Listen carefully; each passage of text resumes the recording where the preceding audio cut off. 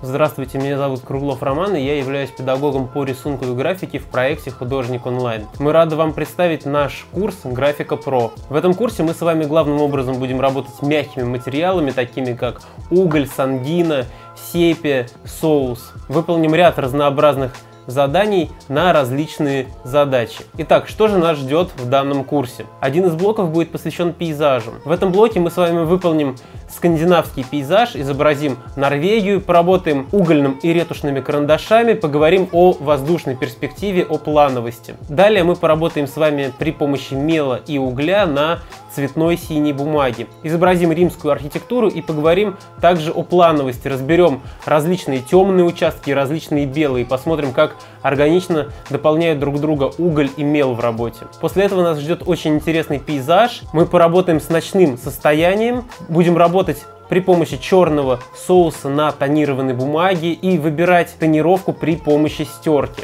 Далее в курсе нас с вами будет ждать задание, связанное с изображением фасада дома, и его мы выполним с ангиной, с ангиной сухой и восковой.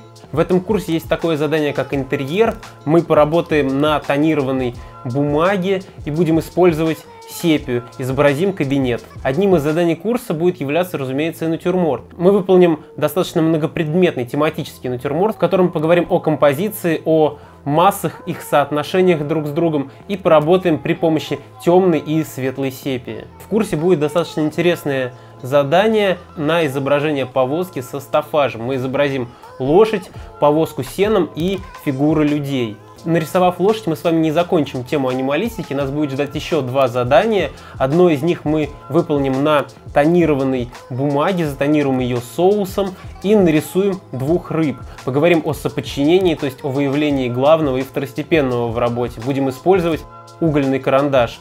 И далее нас будет ждать изображение медведя, поработаем сепией и поговорим о том, как сочетать в работе и пятно, разбирать различные фактуры, а также включить в работу линию.